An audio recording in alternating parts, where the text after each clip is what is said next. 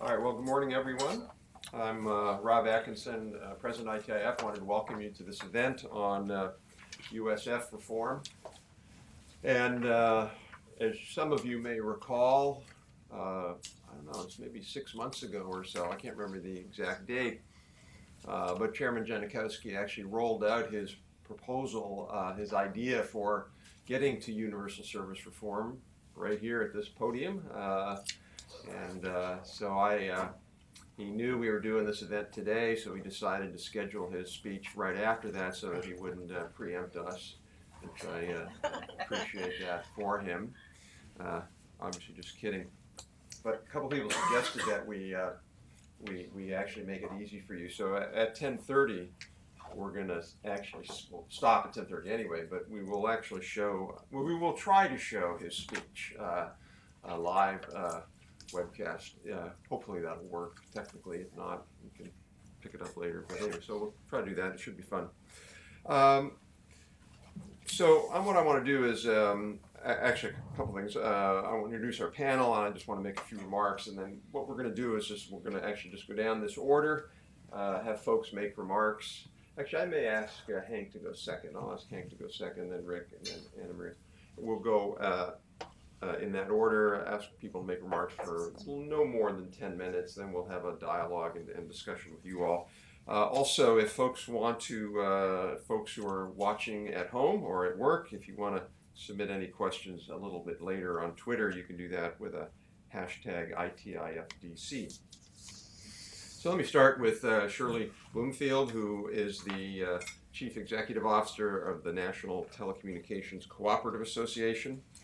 Uh, she uh, has 23 years' experience in telecom, began her career on the Hill as an aide to Congressman David Obey, uh, served as an aide on the House Budget Committee, and then went to NTCA in 1986.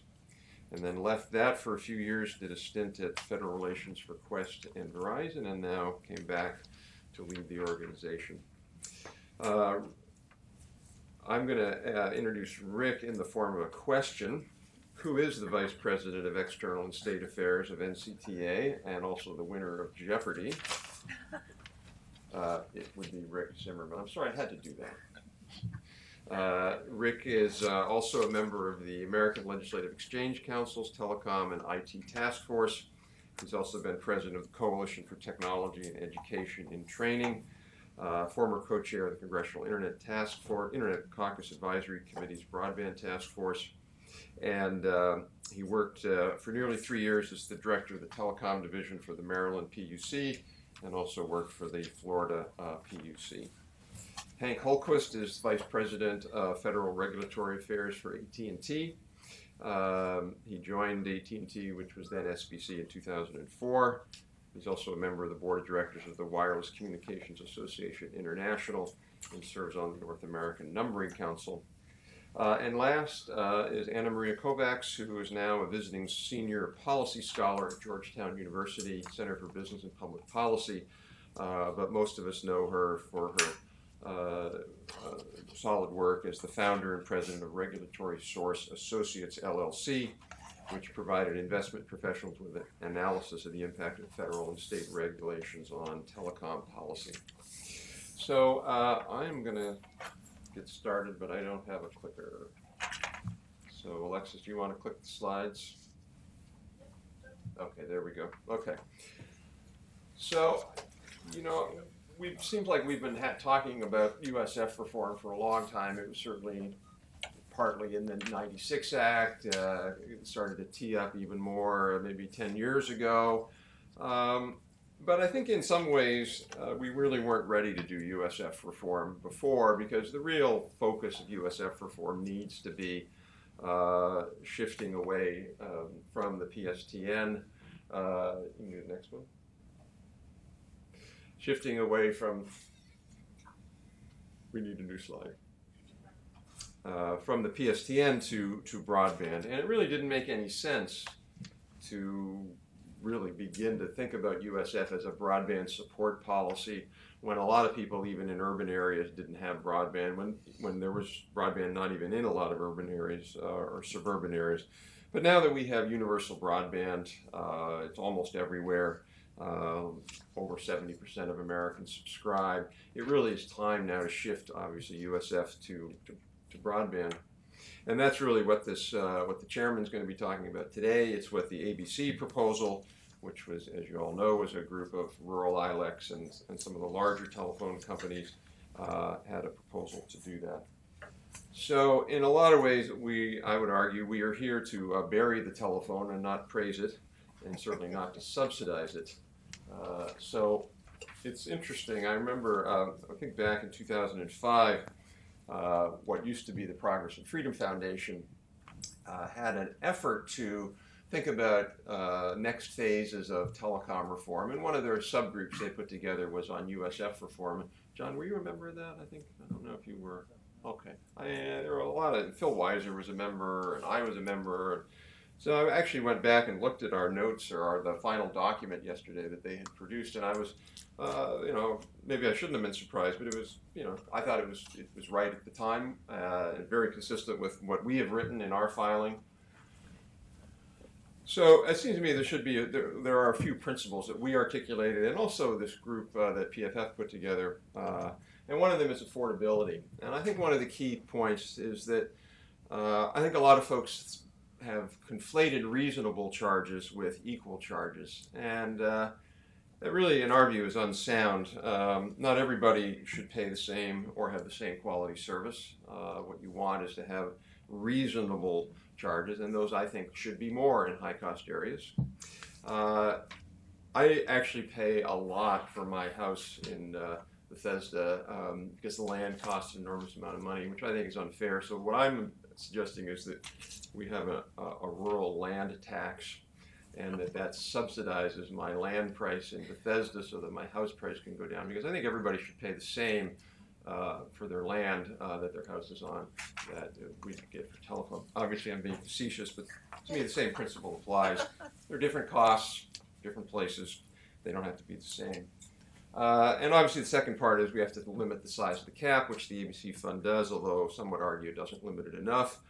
Um, and I think it's important to recognize that there have been some criticisms of the, uh, of the plan by some consumer groups because it has a it potentially modestly raise the subscriber line charge, and this would be consumers feel is a bad idea.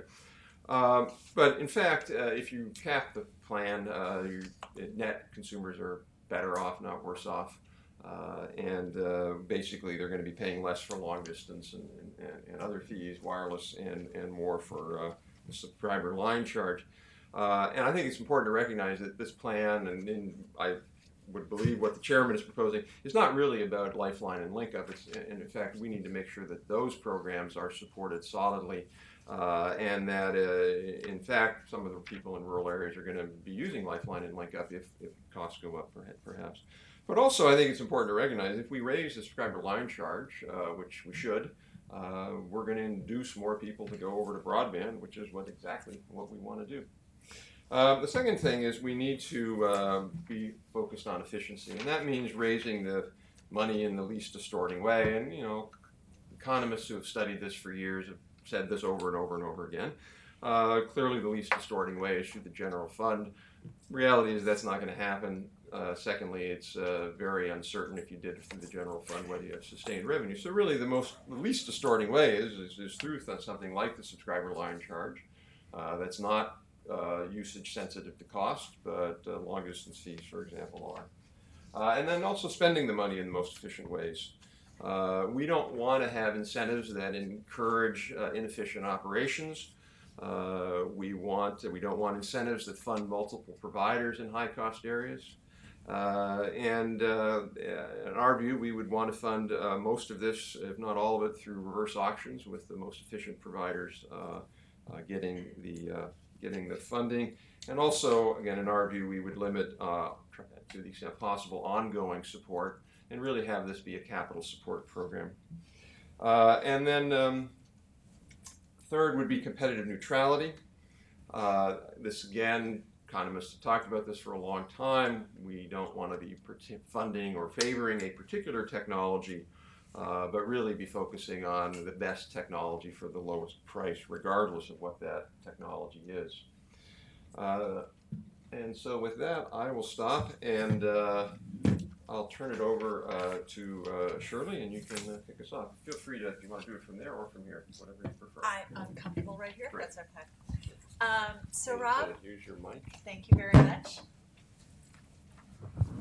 So um, Rob has laid out certainly uh, ITIF's perspective, and what I'd like to do is just very, very quickly kind of do a recap of, uh, of a little bit of where we are and where we kind of came from. So one of the things that um, the FCC I think really challenged the entire communications industry when they came out and they said, look, you know, we want to create a broadband plan that really ensures that we get broadband out to as many Americans as possible. And you know, how do we do this? What's a roadmap for doing that? So when they came out, they really targeted, I think, some very key principles that they were looking at. You know, modernization of the network, fiscal responsibility, constraint of the funds, accountability for the funding that was going out there, and ensuring that there's some market-driven mechanisms. And I think they were very clear about what their perspective was on that. And um, from NTCA's perspective, and NTCA is a national trade association where we represent about 600 small rural telephone companies in about 47 states.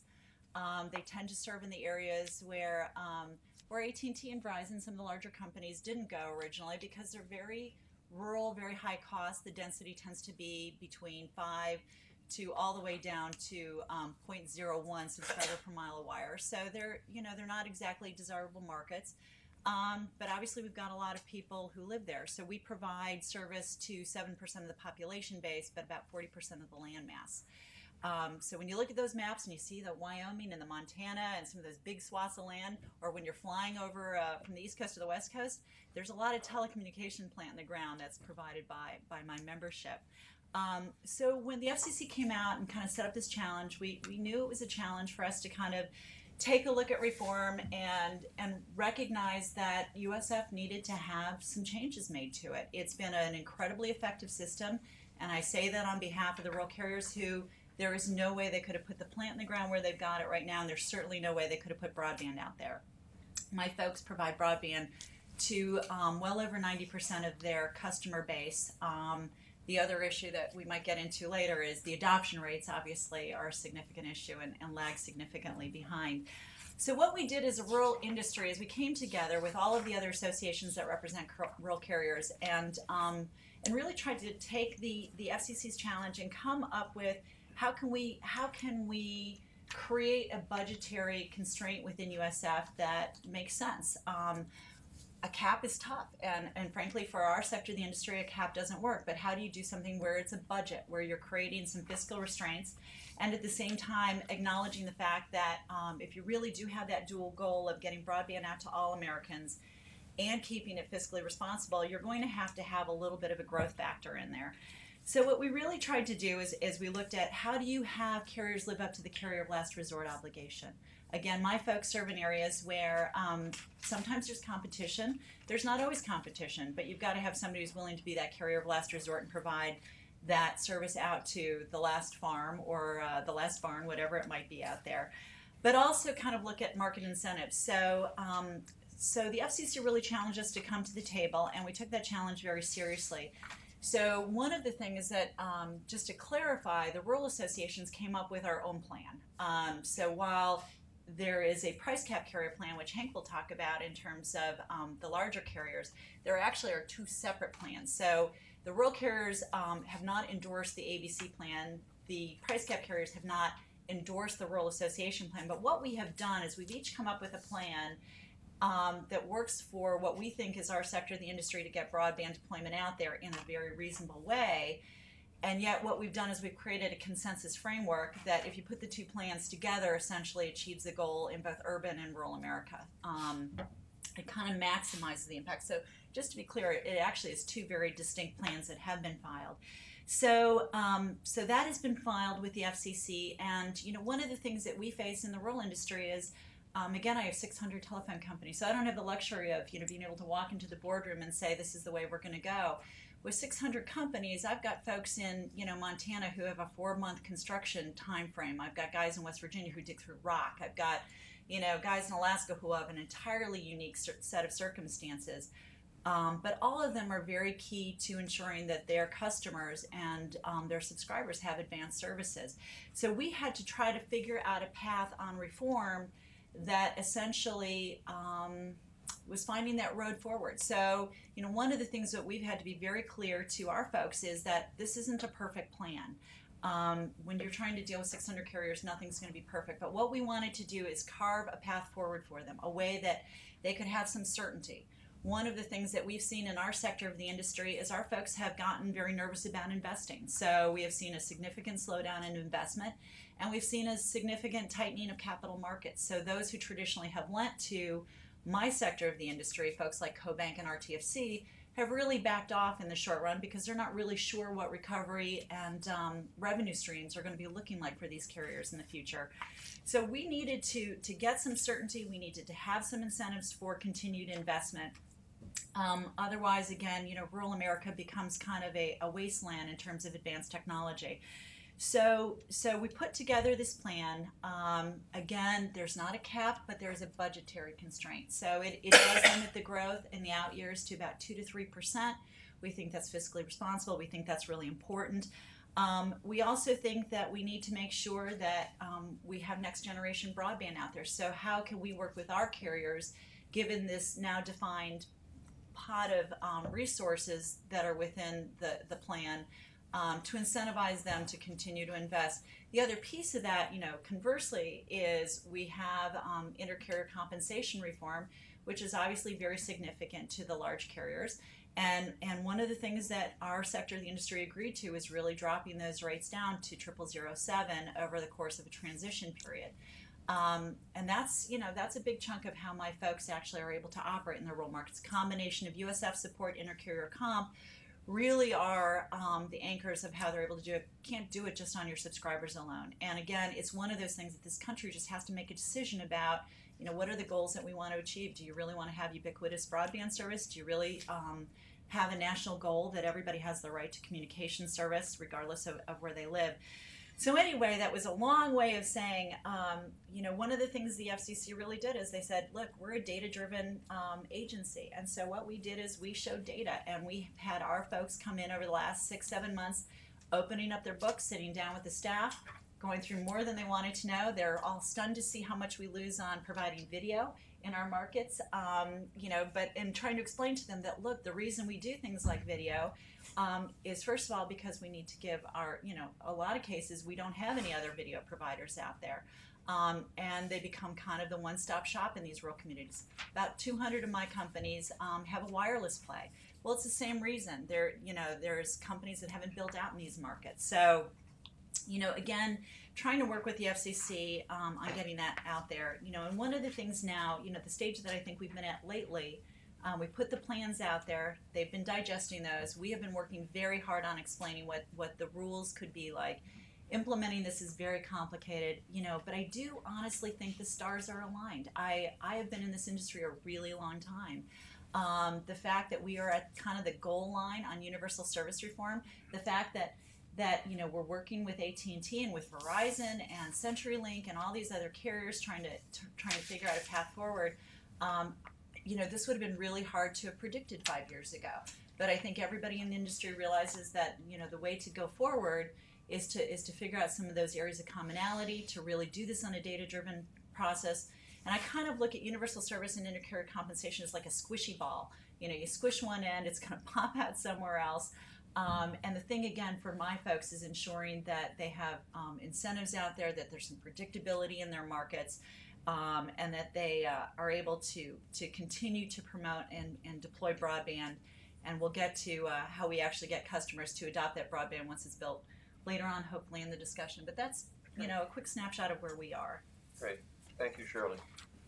Hank.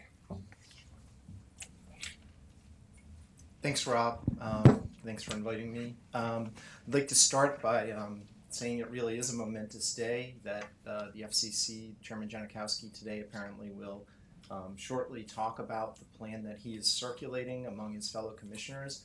I think both the chairman and ultimately all the commissioners will deserve a lot of credit for tackling this issue. It is an extremely complex issue. It is, you know, I've been around telecom a long time. I honestly think this is probably the most complicated set of issues to get your arms around and understand how all the piece parts affect other piece parts. Um, I think I like to say, Shirley, I think I hope you're right that the stars are aligned. I think they're as aligned as they're going to get. Um, we're probably, honestly, if you if, if it doesn't happen this time, you know, given the political calendar, it'll be another three or four years before there's another serious run at that at this, and by then, this industry is going to be a lot different. Um, not sure exactly what that would look like if we don't get this done now. Um, I think Rob did a great job of um, enunciating some principles that really everyone has to have in their head as they think about how should we reform these interrelated systems of compensation and universal service funding. I think one of the challenges is sometimes the principles don't all work in the same direction, and sometimes you have to balance the principles and recognize that you can't maximize all of them. And, and that, I think, is again, makes this an extremely complicated issue. I think I'll just talk briefly about sort of why, why now, why this, why the ABC plan. I won't go into the plan of the rural associations, but I think if you step back and remember, where, where did we get to where we are? First on intercarrier compensation, this thing we call access charges.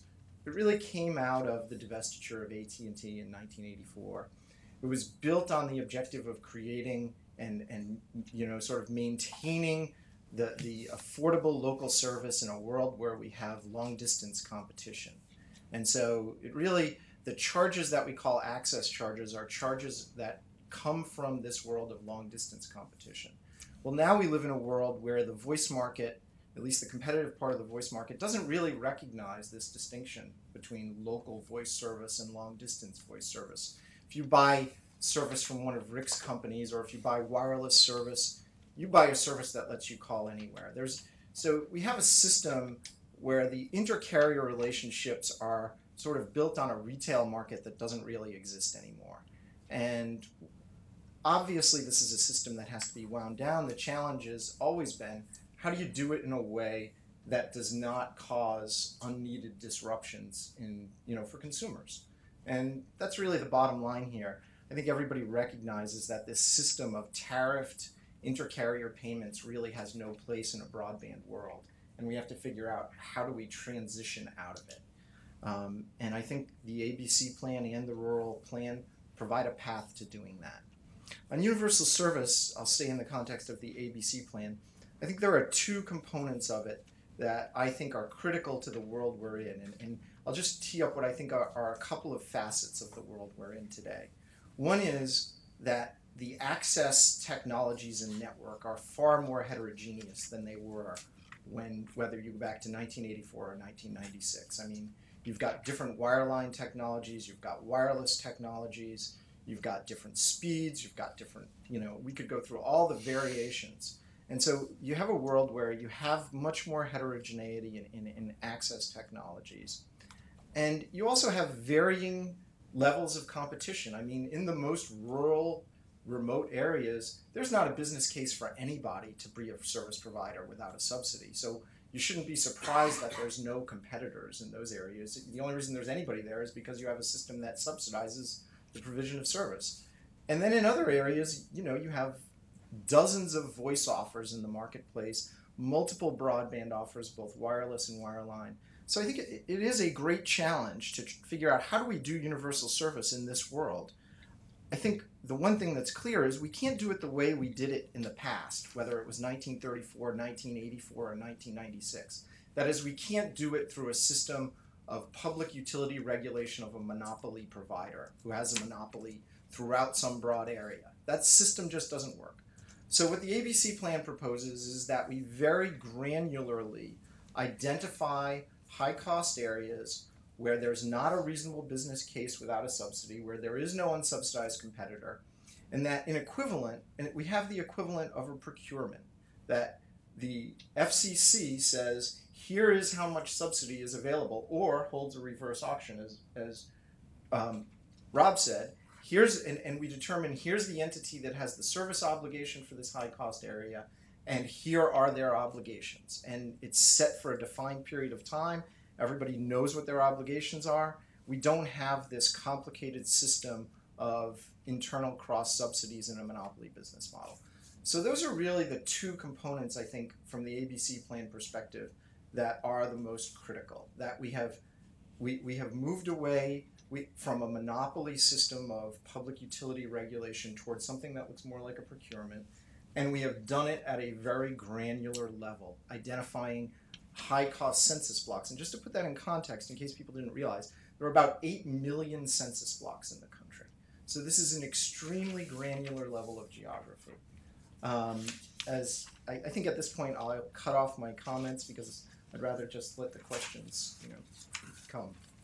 Great, thanks. Uh, so Rick, you, you, you have two precedents here of finishing ahead of time, so we if you want to Yes, continue. we'll see if I can do the same. Uh, so, uh, Rob, uh, as others, uh, thank you. Appreciate the opportunity to be here. Want to be clear for everyone that I am with NCTA as opposed to NTCA. We are sometimes confused. Represent uh, most of the major cable telecommunications providers as well as some uh, smaller ones.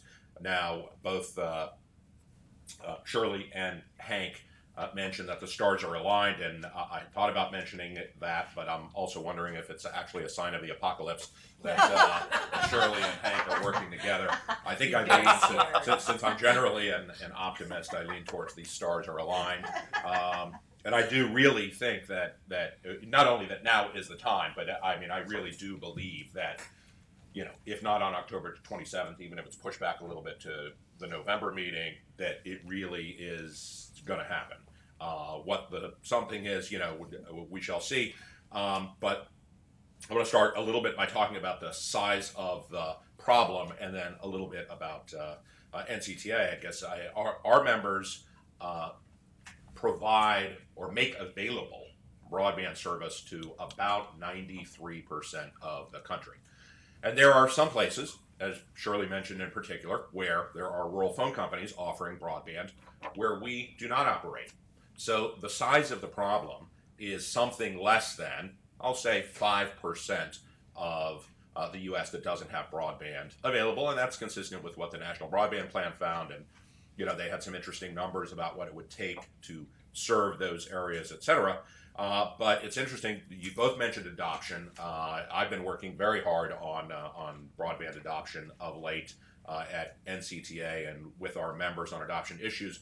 But um, just to paraphrase, if not quote, Blair Levin from a recent speech that that he gave, uh, it's interesting that we are spending you know so much time, effort, and money on the five percent problem as opposed to the 33% problem, which is the adoption problem, which frankly we think is you know ultimately a, a bigger issue and, and worthy of more time and attention. So uh, so hopefully we deal with the five percent problem and move on and, and get to this other uh, issue. But um, but for our members, uh, what's uh, what's key and, and crucial here, uh, we make broadband available as noted to 93% of the country. We are a facilities-based competitive phone provider providing service currently to about 25 million subscribers across the country and again making phone service available to 85% something like that i'm not sure of the latest stat to which we make uh, facilities-based competitive phone service uh, available so you know we can talk about principles and that's sort of where we've started uh, I, I think the key really is the details but i want to take off where Shirley started, and, and Rob for his part as well, which is that the chairman was here six months ago, mentioned four key principles modernize USF and uh, inter- intercarrier comp for broadband, fiscal responsibility, accountability, and market driven policies. And we wholeheartedly agree, and we filed a letter uh, jointly with the American Cable Association, which in some ways is an analog to NTCA. It represents many of the smaller cable providers, some of whom are also rural telephone uh, companies, um, and pointed out uh, for each of those four principles ways in which we felt that the ABC plan actually diverged from those principles. And we followed up with further filings about how the FCC could come back and really uh, focus on what's necessary. So I'm not going to go into all of the details, but just to mention a couple of the critical issues. One is the right of first refusal. So uh, currently, as uh, espoused in the plan, where a um, a broadband service provider provide a price cap carrier will leave the rurals aside for the moment, but you'll get your turn. um, the uh, the price cap carriers, which Hank represents here for the ABC plan, uh, if they serve the an area with uh, 35% or greater uh, broadband, they would have right of first refusal on uh, subsidies coming into that area. That seems to us to flip it on its head. It ought to be where they serve less than 35% or whatever number the FCC chooses, you know, where the area is where there is no unsubsidized competitor, that's where they ought to have the right of first refusal on where to move forward. Similarly, uh, there's no accountability, to use the chairman's term, in that the uh, the basis for which they would receive a subsidy is a number spit out by the cost model. But this number spit out by the cost model would be for building a new wireline network. But the reason they're getting the right of first refusal is because they already have a network there. And there's no requirement that they actually spend the money that they get to build a new wireline network. In fact, they could build a wireless network, which, if you're Verizon, they already said they're going to do. So, why would we be giving them money to do something they already said they were going to do for a technology that may not even be what is contemplated here? So, that's just one example of some of the detail issues that do need to talk, be talked about. Another is some of the thinking seems to be that in order to get the broadband dollars, you have to be an eligible telecommunications carrier. So we're trying to modernize the fund, shift from voice support to broadband, but you have to be a telecommunications carrier. That doesn't seem to make sense to us. I'm going to leave aside part of the discussion on VoIP and IP, but one of the concerns about the plan is the disparate treatment between IP traffic and uh, TDM traffic, a transition that we think is too long on the TDM side. We think in general IP ought to be treated the same as TDM traffic, and there are some specific, very specific areas in the rules. Uh, we would argue that where we are terminating IP traffic, for example, or TDM traffic, we ought to be the pay, paid the same as any other carrier for performing in effect the same function. But what we have seen lately, and maybe we can get into this a, a, little bit, is some of the very larger carriers are saying, hey, your corporate structure is a little bit different because you have a separate entity that has the retail relationship with the customer versus the CLEC that is the, actually the terminating carrier. We're only going to pay you part of what you would otherwise get because we don't think this guy qualifies for anything. And that's something that the rules really ought to be corrected to uh, or, or should address. It's something that we're dealing with, in you know, uh, right now, uh, even outside of the ABC plan. And finally, there needs to be some reforms to uh, rate of return, uh, form of regulation, which you know economists have recognized forever is not the most cost efficient or uh, uh, doesn't send the right incentives necessarily.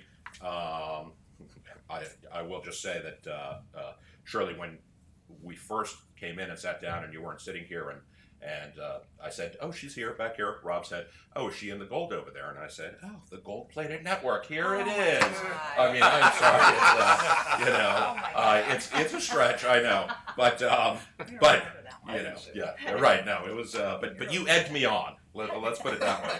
So uh, so there does need to be some reform to uh, to to rate of return and a focus on really um, the, the last point I'll make is the focus here ought to be on uh, providing subsidy in areas where there are no unsubsidized competitors.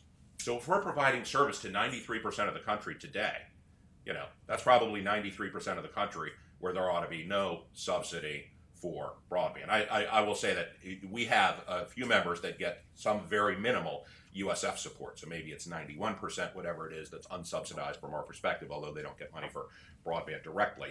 Uh, but that's a large swath of the country that uh, probably should be receiving, you know, no broadband support at all. So let's turn it over to Anna Maria. Anna Maria? Thank you. Um, seems to me that as the FCC looks at this issue, um, they need to look at it from the perspective of probably three different sets of consumers. One is it, the entire uh, base, I guess, of interstate telephony users who pay into the fund, which is to say, pretty much all all consumers of telecom, one way or another. Um, it is in their interest to make sure that the fund is not any bigger than it absolutely has to be. And that interest in keeping the fund size down is obviously one very important constraint. On the other hand, they need to look at the needs of the rural community, uh, the, the folks who don't yet have broadband and who probably need it as much or more than any of the rest of us because they are, in fact, in remote areas where they don't have easy access to a lot of things that we do. So those two sets of, of interests have to be balanced. And then you have another group, which is a subset of both, which is folks who are low income and who can't afford to pay very high prices for either telephony or broadband. And it seems to me that those need to be considered in the context of the Lifeline Link Up, i.e., Low Income Fund, which is also being reviewed by the FCC on a separate track. But I think as we look at what is or is not appropriate in the way of, of pricing within rural or slick or whatever, the affordability issue needs to be looked at primarily in the context of the uh, low income fund as opposed to becoming a constraint on doing appropriate pricing on on the sort of major categories of products. And appropriate pricing, I think, is one of the most important things that this reform could accomplish. Um, as everyone before me has said, we're really looking at two sets of issues that are related because the Telecom Act asked uh,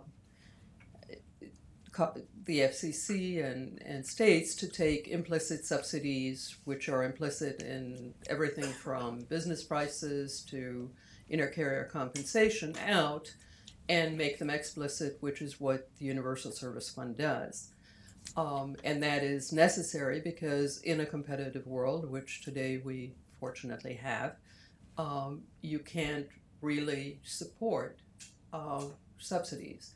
If you are making what used to be a monopolist but no longer is, uh, uh serve very high cost areas and average that very high cost over its entire territory, you're being unfair to their customers in urban areas, and you're being unfair to the company itself, which can't price appropriately in that area and winds up losing market share to others who don't have the same obligations.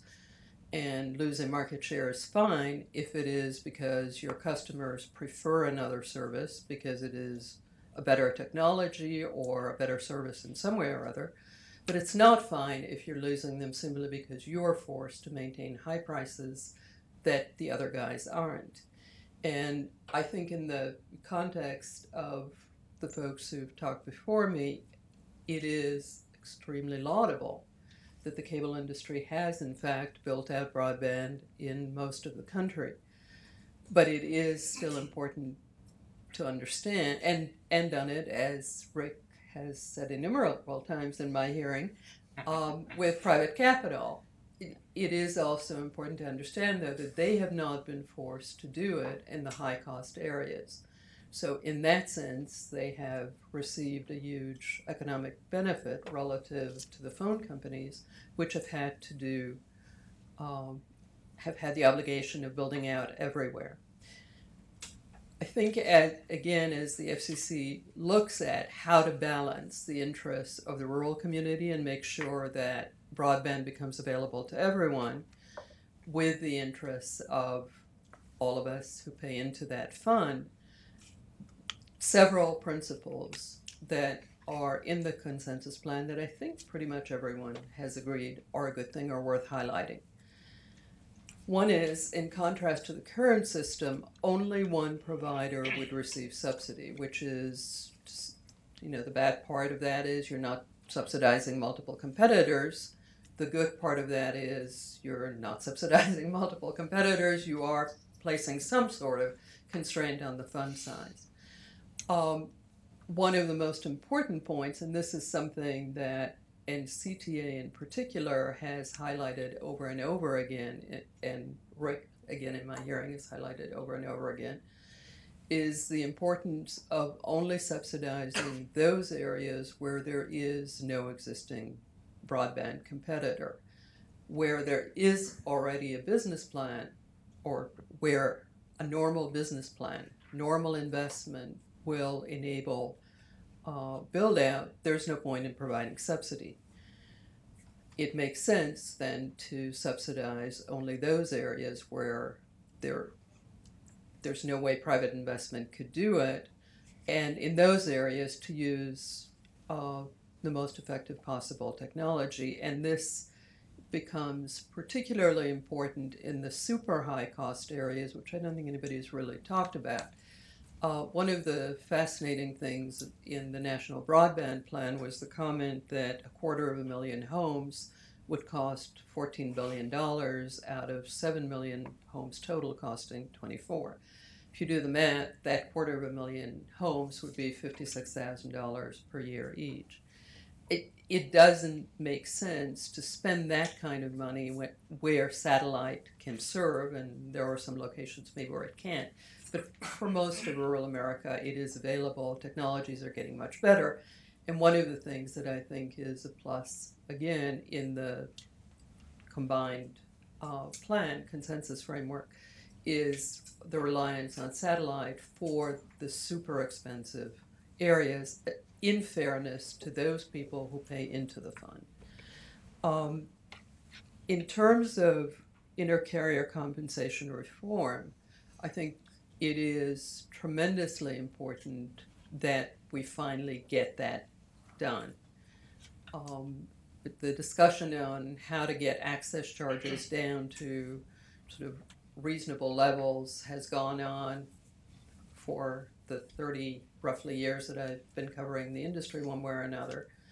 And it has become more and more urgent because the disparities have become greater and greater.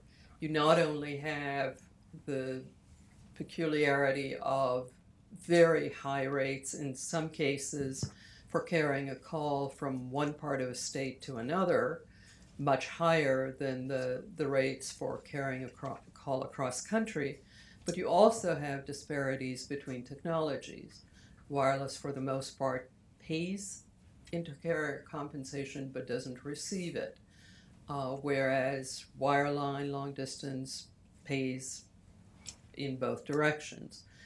Uh, VoIP, it's kind of hard to tell these days what, what it does or doesn't pay, and when it is IP to IP, which is clearly where the, the technology and the industry are evolving, it doesn't pay at all.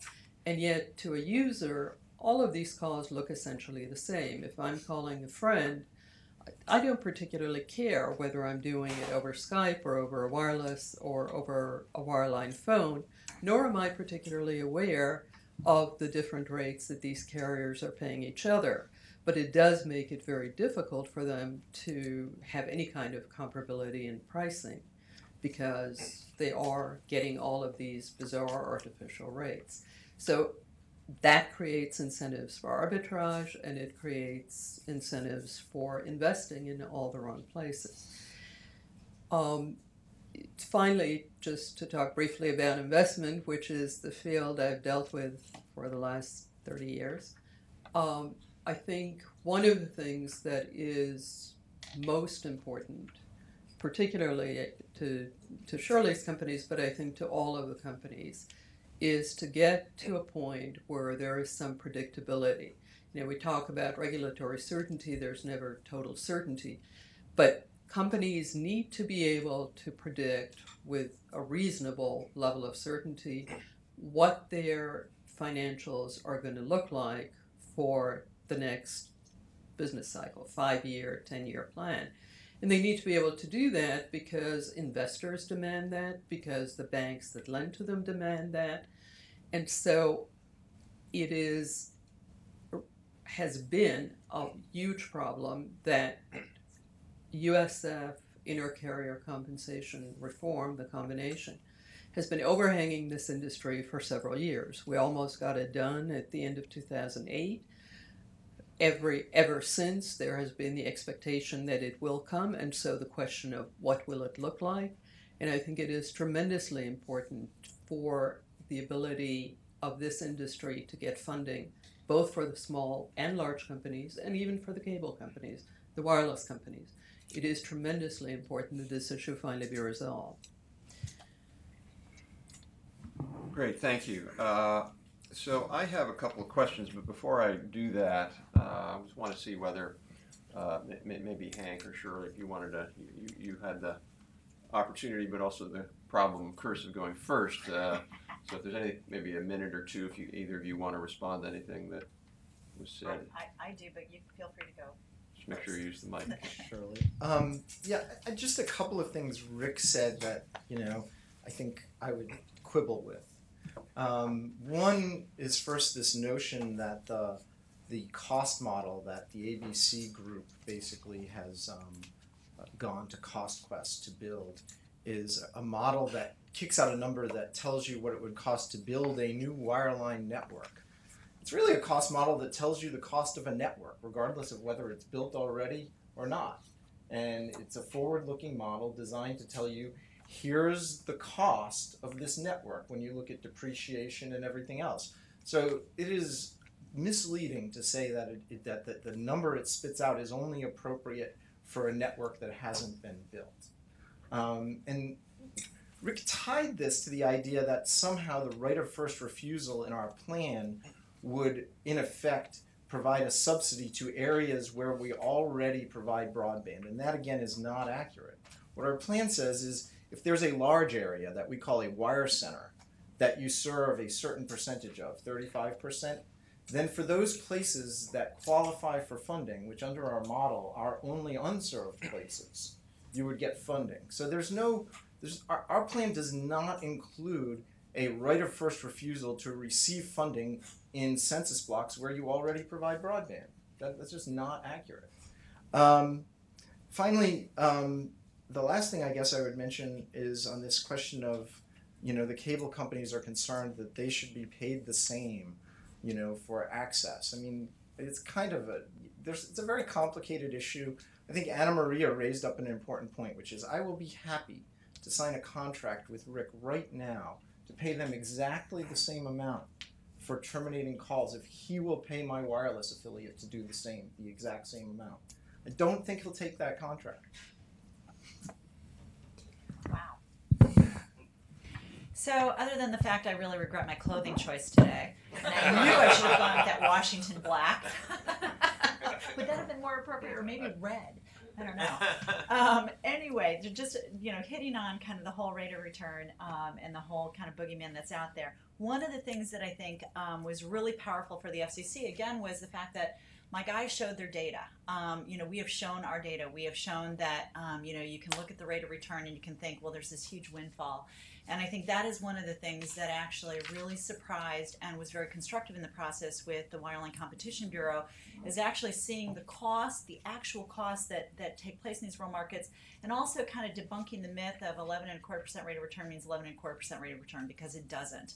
Um, you know, there's a lot of factors, there's a lot of state factors, and one of the things that was big for us, and that was, you know, that was um, a tough sell in some ways to my membership was when we filed our rural association plan, we brought it down to 10%.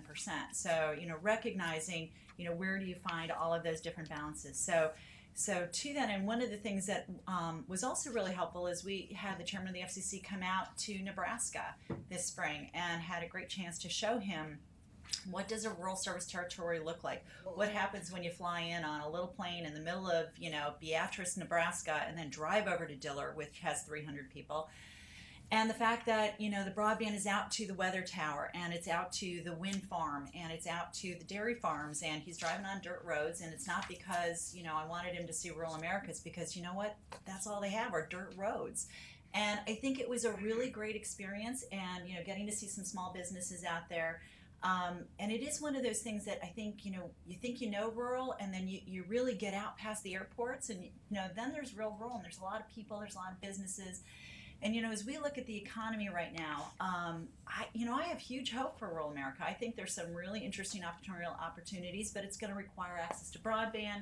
Um, it's going to require, you know, the, you know, that's going to be some job creation out there in some of those areas. So, um, so any of you who want a field trip, happy to take you out to uh, rural South Dakota or any place you'd like to go. Um, but again, just kind of understanding, you know, the cost models are a little bit different. Um, and the one other thing I did want to just kind of throw out there that I think is going to be important about reform, based on something Anna Maria had mentioned, is you know there are some arbitrage things out there right now. There's phantom traffic, there's traffic pumping, all of these things. I think this is such a you know, to me, low hanging fruit that the FCC could have dealt with. Um, but this is also the prime opportunity for them to go ahead and deal with some of these issues as well. Great. So let me sort of dig uh, deeper into maybe two or three issues. Um, one is the um, question of uh, first refusal, the right of first refusal. Um, on the one hand, you can argue, um, since we're really trying to base this on a principle of the most efficient use of funds and the best and lowest cost network, that why would we privilege the incumbent? Do a reverse auction, whoever can win it wins it. Uh, and on the other hand, I think folks might argue, well, because they're the carrier of last resort, there's some certainty there, and if you disrupt that, particularly if the new entrant sort of goes bankrupt, now you're left with nothing.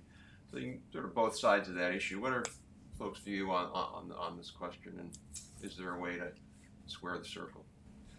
Hank, you Yeah, so I mean, I think you know Rick raises good points. There are certainly the right of first refusal is controversial. It's hard to come up with how do you set it if you're going to have one exactly how it should be determined.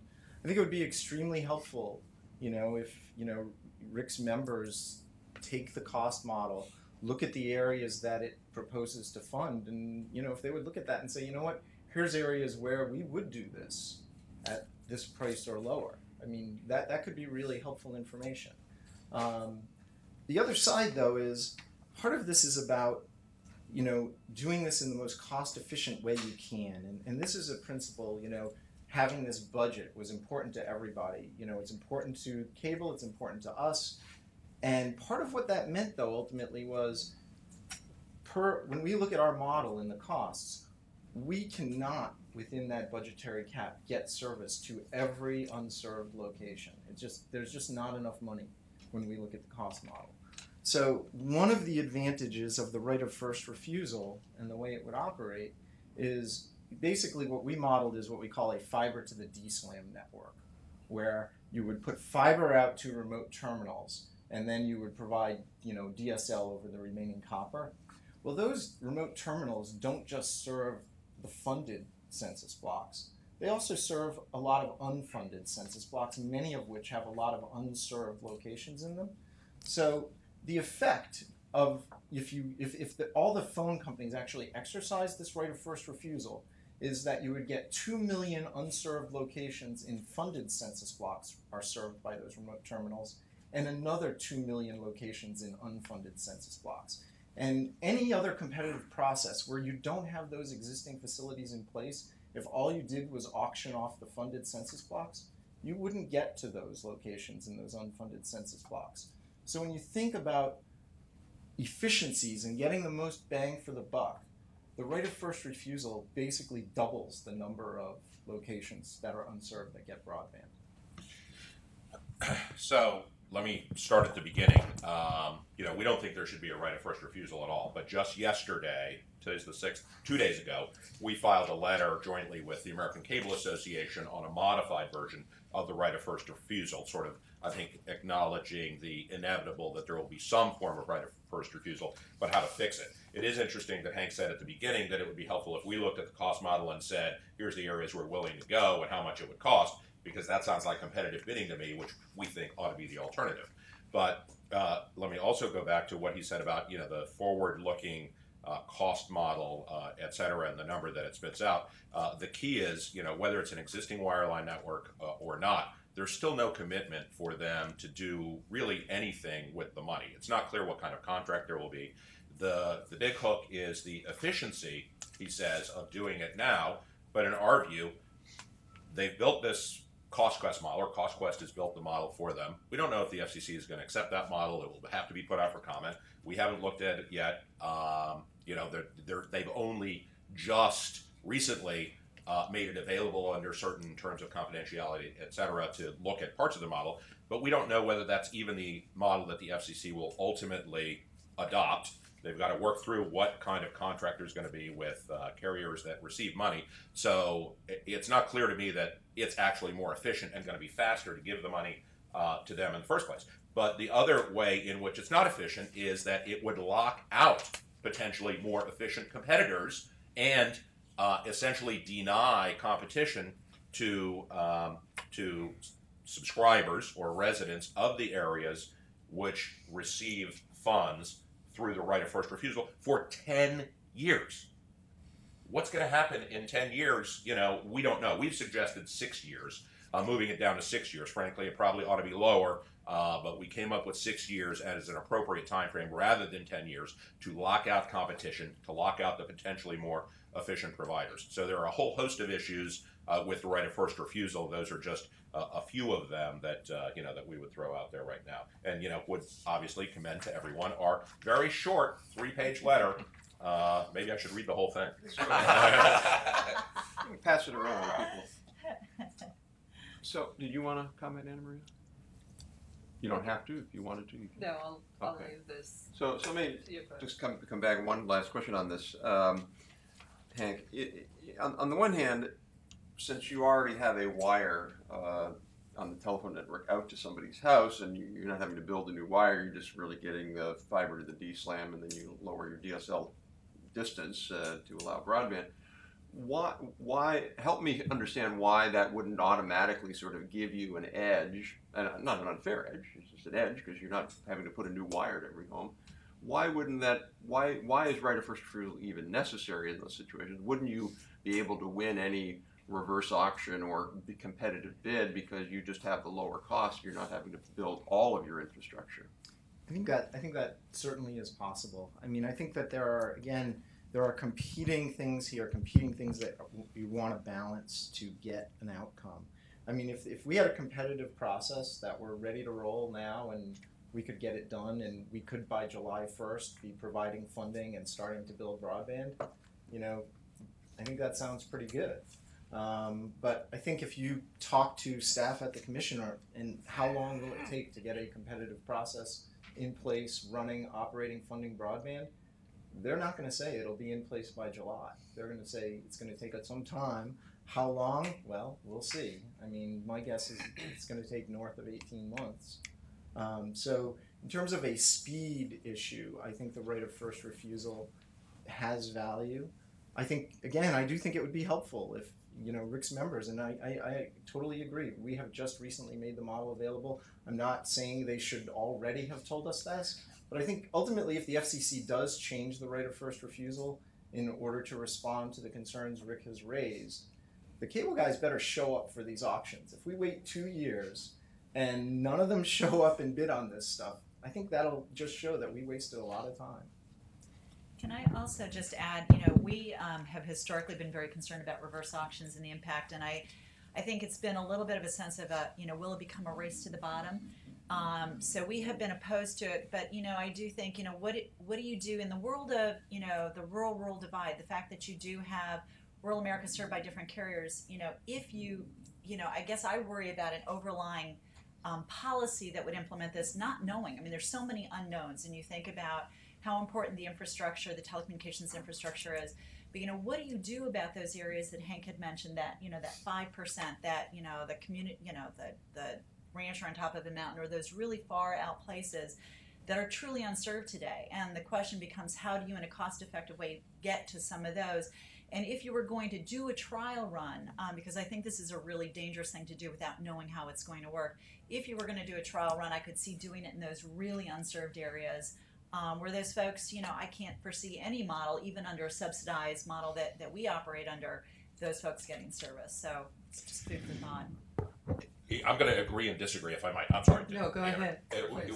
Which is uh, uh, no problem with uh, you know a pilot test, whatever it is. With, but I'm not sure those are the areas that you would want to do it, since uh, since realistically, um, you know, as Anna Maria pointed out, uh, the National Broadband Plan showed that you know the last quarter million costs 14 billion, uh, and those aren't the place. I I mean, the, the subsidy amount required, competitive bid or otherwise, is going to be you know insanely high. Rather, it should be those areas that you know are on whatever the outskirts are of served areas as opposed to you know bring it to the mountaintop um, but in the same vein to respond to something that uh, hank said earlier which is that the budget for the plan you know barely contemplates getting all unserved areas served and i would say it shouldn't you know uh, for exactly the reason that was just discussed it should not say we know it's uh, uh, you know even even if it's off by a slight factor of magnitude, this 14 billion, you know, it's billions and billions to get the last, to get every single. Even on the phone side, we don't have every single household in America after however many years it's been with phone service available. Now, for some people, that's by choice. They're, you know, they've moved away. But, um, but ha- having said that, the plan shouldn't contemplate it.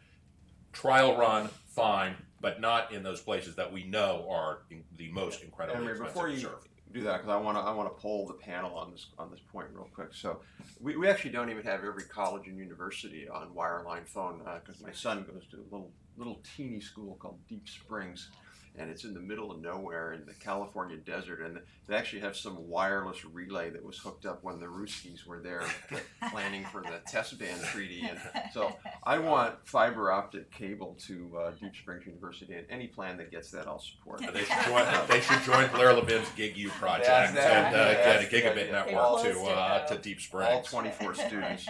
Uh, but my serious question is, so I agree with what Rick just said on the there's a there's a cost curve and it gets pretty steep and uh, you got to cut that at some point and you know where you cut it is is it but does everybody agree with that point that you know really at the end of the day at least in the foreseeable future we're not going to put wireline or, or even terrestrial wireless uh, broadband to every home we shouldn't subsidize that right now is everybody everybody with you don't have to be i'm just polling people to see if that's I'll go first. I am. Okay, uh, Hank, I saw a nod. Yeah, I mean, I think it's inherent in the things you set out at the start, you know, Rob, that we have to balance, you know, and, and as Anna Maria said, you've got the interests of the people who pay into the fund, you've got the interests of the rural people who, who you know, live in areas that the market will not serve, and you have to find a balance. And I think where we are today in, in, in this Universal Service Fund is the balance is around four and a half billion dollars available for this per year. And in that number, I think you know you just have to look at what's affordable. Treat this you know just very dispassionately, and I think it's hard to justify for the you know that top X percent, whatever you say Sure. that is. Yeah, go ahead, Emery. Um, going back, I guess, to to Rick's comments, it seems to me that he said a couple of things in his various comments that don't quite go together. One of which is wanting the right of first refusal uh, in the highest cost unserved uh, census blocks, and the other being uh, that ETC obligations don't belong in the broadband world. With the, im- please let me Yes. Finish. And then I'll clarify what I meant. With the implication that obligations are still going to be left for the ILEC, at least for the voice world, which is something I believe I saw in one of the NC, the longer NCTA filings that were recent. And there are several problems with that, one of which is it seems to me that there should not be obligations where there is no funding as a matter of principle.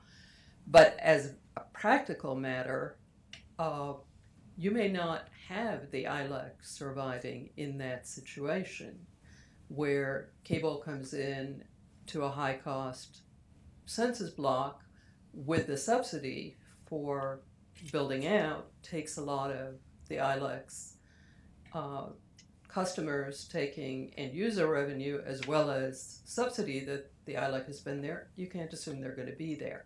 So I think one of the things that really needs to be established is the principle of whatever appropriate obligations are in the broadband world, and they may very well be very different from what they were in the traditional world. You can't assume simultaneously that you'll take funding away from the incumbent, but expect that the incumbent is going to be there to provide service that's been there to provide in the past. So, I, well, Clarify that I, I a don't, yeah, I don't really think I'm going to disagree with that, but just to be clear, uh, you know, we haven't insisted that carrier of last resort obligations remain. We have said in the context of our petition uh, a year and a half ago when we suggested that USF support be uh, taken away where there is an unsubsidized competitor, to the extent there is a carrier of last resort obligation, that ought to be accounted for in the funding mechanisms. But the whole point of the ABC plan, and I guess to some extent I haven't studied as much the rural plan, uh, and the chairman's comments and everything else, is transitioning to broadband, taking support away from legacy voice, and uh, to the extent that you know we receive broadband funds and there's some obligation associated with it, that's fine. But that doesn't mean it needs to be the eligible telecommunications carrier obligations of today, which are provide a separate basic. I, I mean, I can't, you know, I'm sure Hank could That's spell fair the enough. exact. The nine Uh, supported services. Yes, and I, right, all- all, all of those things. Including which- which- dual tone multi frequency dialogue. Right, which, you know, is that really necessary anymore? And in a broadband world, you know, I, I mean, yes, there's that small percentage of places where we provide broadband but not VoIP, you know, for the moment, and that may be more to do with, you know, rural interconnection or who knows what. Uh, but, but presumably if we're providing broadband in the future, there's gonna be some, you know, voice component, if not a single line, separate, you know, available, non-bundled, whatever. So the point is, the obligations of today in the voice world are not the obligations that make sense in the broadband world. Although we agree, there ought to be some obligation if you're getting money. That's not a problem. So let me do one more uh, issue, maybe just quickly, and then we'll open it up. Um, one, I think the, one of the more opaque and confusing issues on all this is around uh, uh, ICC for VoIP and uh, uh, IP traffic. And you know, it seems to me that when I make a Skype call to my son in in uh, actually I can't make a Skype call to him, but, but if I could make a Skype call to him. Uh, Why did he go to school here? Is this to get away from you? Yeah, right, exactly. the farthest on the 48 states that he can avoid me, and he can't call me all that often, and I can't, I can't call him. No, it's an ideal world for More him. important. Uh, but when I used to do Skype calls with my son uh, when he was someplace else, uh, it seems to me to me absurd that I would be that somehow that Skype would have to be paying ICC charges on this. It's like sort of charging ICC charges on an email. Uh, to me, that's just voice and video email. It just happens to be in real time. Now, on the other hand, there's some continuum where I'm using the Skype call to inter- interface with the PSTN, and that's that's obviously different. And so, uh, to me, it's a complex question, but I would really not like to see a world where really IP to IP computer traffic and maybe even telephone traffic, just totally IP, gets swept up into this. But on the other hand, you got to recognize that we're in this transition period. So, what are people's thoughts on that whole question? So I can sort of give the ABC plan because we had in our group the complete spectrum of views on the appropriate compensation for IP traffic. At you know, at one end we had Verizon, whose view is that um, you know there's no in the current under current rules there's no obligation for IP traffic to compensate more than 0007. And then we had smaller carriers whose view is you know they should receive jurisdictionalized access on every kind of call um, irrespective of whether it's ip or not and this was an issue where you know we just tried to find a compromise frankly um, and so the abc plan says we're going to take all rates down to 0007 over some you know schedule but one thing we're going to do at the outset is say going forward voice over ip traffic the appropriate compensation is the interstate rate or local if it looks like a local call. Now, there's not a lot of principle in that. That is truly a compromise. after basically the effect of it is after from uh, I guess it would be on July first, two thousand and thirteen. It would be the same as any other you know call that interfaces with the PSTN. So there's you know under our proposal there's about this 18 month period in which there's a slight difference in the treatment of IP. Um, and so that's what we came to. It's not, you know, I can't defend it as, you know, somehow it comes down from some principle of logic or, you know, it's really just a compromise. I think the, the real threat here, the problem is if we don't get some certainty on this, you know, if we don't get reform, if the FCC doesn't do something, we'll just continue to have the disputes that have plagued this issue for the last seven or eight years. And, you know, that lack of certainty, I think, is much more harmful than whatever the particular outcome it might be. Anyone else wanted to jump in on that? Rick- Rick or Well, I, I, No, please. Yeah, I don't think I agree with, disagree with uh, what Hank said, that we need some certainty, uh, and glad to hear him acknowledge that, you know, what the ABC plan has done is just a compromise. Our view is just that, you know, there really shouldn't be any difference in the treatment. Either TDM also goes at the same time as IP, or IP doesn't go until um, TDM does. The irony of it is, well, th- several ironies here, you know, one of which is, uh, the more modern network obviously will be more IP, less TDM. But by locking in higher rates for TDM over a longer period, you reduce the incentive for carriers to move to IP, which I think we all think is the better, you know, world of the future. So, so that's a problem with the current mechanism and the longer transition. Uh, but the other thing is, you know, it's hard for us, virtually impossible so far, to get IP to IP interconnection with incumbent LECs, which is something we would like. So we were forced to convert our IP traffic back to TDM. But then what we've had, in the case of some carriers that I won't mention, although I see them in the audience, is they tell us, hey, smells like IP, so I'm not going to pay you anything. And this is even in the case of take one of our companies, Cox Communications. So many of you may know they were one of the first out with circuit switched uh, cable telephony, pre VoIP, pre IP, and they're still circuit switched in some areas. And so the carrier that I'm talking about is wrong when they say, smells like IP, I'm not going to pay you. It's just like, hey, I think you're like every other cable, it's IP, so I'm not going to pay you. So we're involved in a number of state PUC proceedings about this, but this self-help is part of the issue and one of the reasons why we need certainty here. Uh, but ultimately, the goal ought to be let's transition to IP, IP to IP interconnection.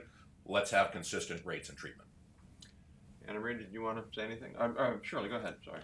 Uh, I was just going to add that um, obviously for our carriers, you know, the concern is how do you support building the network, and so it's all you know, which which actually in, in my book raises another question that we haven't touched on today, which is the whole contribution factor, you know, and how do you address you know the incentives for building out that network and who's using the network and who's interconnecting with the network and you know where do you put in the world of um, all of those who build business models, um, Netflix on you know access you know accessing these these um, high speed networks and and how do you help support the build out of those networks? Because frankly it's kind of the chicken and the egg so I, I just you know throw that out as well. Transition time you know frankly transition time is important for us. We we need a little bit of a ramp up. This is going to be a big change. Triple zero seven is a big change for my carriers. So you know we need that that ability to kind of adapt. Um, so I, I will say we, we did view the transition as being a really important piece of, of So can I just say, uh, in keeping with the letter that we filed on October 4th that I mentioned, we filed a letter yesterday on October 5th on this very point. Uh, so I've, uh, you know, we, we have presciently, uh, uh, you know, anticipated all of the issues that we were going to discuss and filed a letter on each. And uh, here, one of the things we point out is it's not just the rural carriers that are losing money through going to 0007. Uh, we, over that five year period, about a half a billion dollars that will be money that we can't then invest in broadband that we lose by an immediate transition. So again, if we, we either all transition or neither transition, but we're impacted just as much, and guess what? No access replacement mechanism for us. I have to. I just have to throw out there that the, the range of opinion on this is what has made it so difficult. So, Rick represents what I would say are, you know, probably the single biggest group of VoIP provi- voice over IP providers. There's another group called the VON Coalition. They represent another group of voice over IP providers. and their attitude is that there should be no access charges on VoIP. So, Of, I of course, they have no facilities. uh, so They ride on ours. You know. all I'm saying is that this is an issue with a wide range of opinions that with no resolution heretofore, and getting some certainty that is ultimately a form of a compromise seems like a pretty good outcome. So let me uh, open it up now to questions. If you want to identify yourself first, and if there's a question. My name is Bonnie Bracey Sutton. I belong to a group called Power of Us. I'm a teacher. We listen. I'm, I did not go to law school, but I was on the National Information Infrastructure Advisory Council. And years ago, teachers have been waiting for. We don't understand anything about what, why. It's when you go to Montana, you can't do anything. We tell everybody, take education to the cloud. What cloud? What the hell are you all talking about? You can't get any. You can't even get dial-up in some places. How can we make this understandable to teachers? I mean, I've done MLab and I've done the National Broadband Plan, but when I drop down below Richmond, Virginia, I can't get online. So help me understand what to tell teachers who are trying to understand what all of these discussions are about. I've been to Montana. so you got to come to where one of my carriers serve because I bet you get great service out there. Okay. Um, and you know, one of the things it's it's an interesting point you raise about the education community, and and I think part of it is figuring out how to connect. It to me, it's a big puzzle. How do you connect the dots, and how do you connect the education community with the infrastructure providers? Because you know what, there is nothing that we as facility-based providers want to do more than get our services out there. Um, the other thing that is, I think has been a really interesting development, we've got about 26 states where all the local carriers own a fiber backbone network throughout the state. SDN in South Dakota, um, Montana um, Services Network out there. They've got an, they hitch up all the healthcare facilities in Montana. Part of it is really connecting the dots. It's getting the educators in these states to be talking to the carriers. I'm, we're happy to help facilitate it. Again, in these rural communities, you know, it's just knowing who to talk to. What do your schools need? What kind of, and you know, part of the issue that we're discovering is the infrastructure is there. It's that the teachers don't know about it, the educators don't know about it, and then they don't know how to use it. So, how do you take advantage of that? And then also, how do you work with these carriers to take advantage of all these other things that will help you on the back end, which is the equipment, the hardware, the software um, that the education folks need? And, and there's definitely programs out there. So, there's a, a lot of ways we can connect. and I'd be happy to talk to you offline about that. I'd, I'd like to just add. I, I mean, I think your comment is, you know, if the question is, you know, why are we doing this? Your comment is exactly right. We have had in place systems that have not created incentives for people to provide these services in, many rural areas. And I just like to go back to something I said earlier. If the if the ABC plan were adopted and implemented, we estimate that there are slightly over two million completely unserved homes that would get broadband for the very first time in the funded census blocks. But I want to go back to the point I made earlier. There's an even a bigger number, another over 2 million more, that would also receive service, even though they are not in funded service blocks. So that's basically 4 million locations that for the first time would receive broadband. And, and one last point I want to make, because I see John Peha in the audience today, is about a million and a half of those locations, the copper would be under 6,000 feet. So people ask, you know, what speeds could you get? Well, for a million and a half of them, you could certainly get over six megabits, and you might be able to get up to 10 megabits per second. So that is a big change from nothing to 10 megabits. So let me actually turn it over to John. You some very uh, insightful and, and early work on this whole question. So you had your hand up. If you want to. I'm, I'm in trouble if he starts with whether I did something insightful. Um, John Peha representing no one. Um, actually, it was that two million number I, uh, that struck me that I wanted to ask about. So if if I'm understanding correctly, there are two million unserved households in served census blocks. I, I was at the commission No unfunded census blocks. unfunded. So they are below the $80 threshold that we set to stay within the $4.5 billion budget. That was kind of where we had to set that threshold. So they're an under the $80 threshold, but they are unserved locations. They would be served by the same remote terminals that would be deployed to serve the funded census blocks. So you really get a multiplier effect in that you're able to reach locations that you couldn't fund, you know, under the proposal if, if, you, if you tried to fund all those census blocks and dropped the, the cost threshold down, y- your fund would blow up. You'd be looking at a six billion dollar fund. Well, so that begs, I mean, because I was in the commission when we struggled with served and unserved for BTOP and BIP, which was not easy. And uh, the answer ended up being based on census block, with the knowing that rural census blocks can be vastly larger than urban census blocks. If it's two million households, that sort of begs. I mean, have we divided this the way we hand this out wrong? That we are we are missing that number of households with the the direct approach that we are talking about. And is there anything we, if, so, is there anything we can do about it? Great question. I think, you know, when you look at the universe of, and this is another great thing about our cost model, John, I would really encourage you to start to play with it because there are unserved census blocks in every sort of cost cohort. So, according to, you know, this is based on NTIA information, you know, we're trying to use the best data we can get. Basically, you can go down to a $40 cost threshold, 50, 60, 70. You can find unserved locations in, in every cost cohort. So my assumption is some of those are in relatively low cost census blocks, but there's some exactly why they are still unserved unclear. The higher cost you get, the more yeah, that's this is a density problem as you get to the higher cost areas.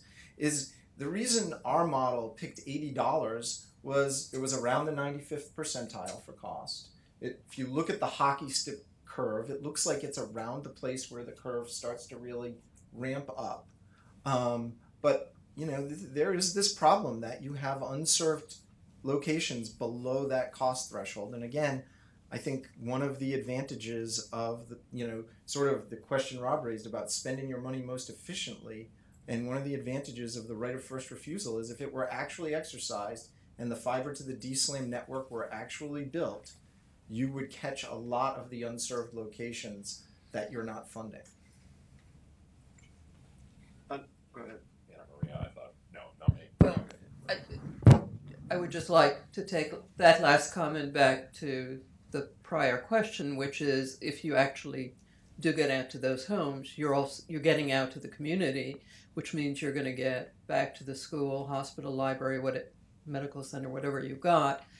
And another point relevant to, to your issue is, of course, the school and library fund, which is a major piece of universal service, separate from the high cost fund that we've been talking about.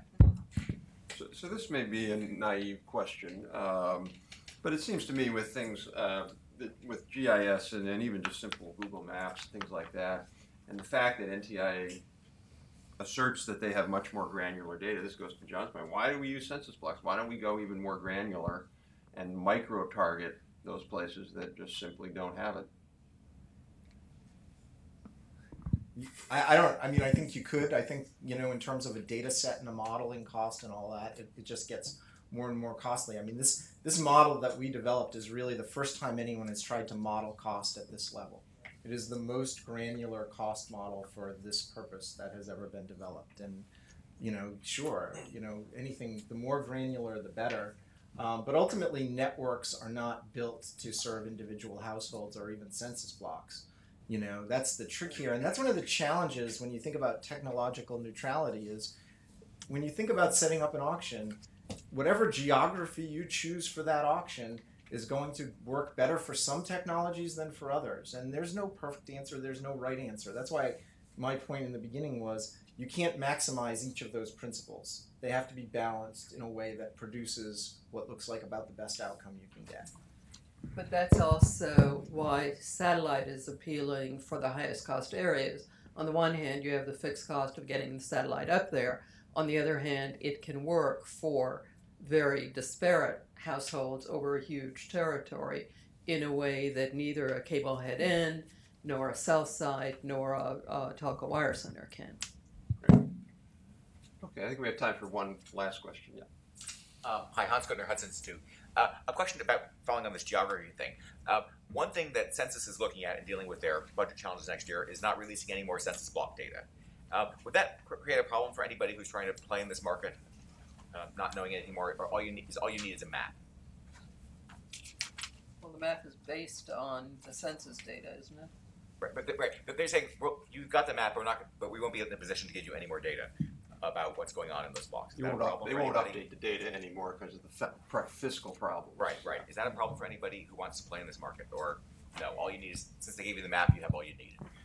I, mean, I, I would have to talk to our mapping people, really. I mean, I, I would suspect that anything you have internally, and internally I'm talking about whether it's the regulator, the company, the public interest group, whoever, any sort of database that you have that's built on census blocks over time will become less accurate and useful. And, you know, whether you will be able to um, change your practices in a way that maintain whatever benefits you get from that information today, I, I honestly don't know. I would have to talk to our demo- demographic people. And, and I would just add that from our company's perspective, as they've gone into the NTIA map, and to NTIA's credit, they basically said, look, it's a work in progress.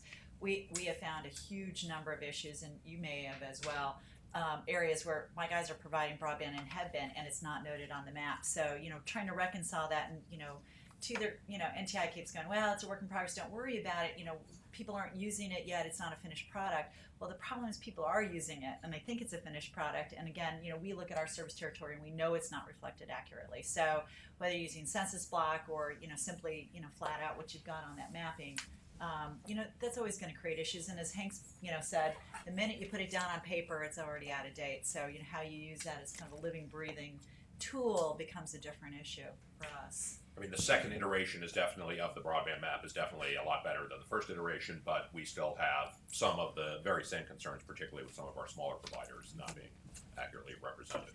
So um, with that, I think we need to stop, but I, I want to say a couple things. First, one is um, this is a great panel, and I appreciate sort of these are, I think, as Hank alluded to, and others, this is incredibly complex. There's no uh, optimization algorithm that gets them all maximized, and, and uh, so uh, thank you for that, and and uh, and I encourage and good luck to the commission for all those for do figuring this out. Um, second point is this is pay per view, so if you want to stay and watch the chairman, it's a five dollar charge. we will be serving popcorn uh, uh, in the back as well. So, but really, feel free to stay if you if you'd like to watch. I'm going to watch. Uh, you're welcome to do that, but please join me in thanking a, a great panel.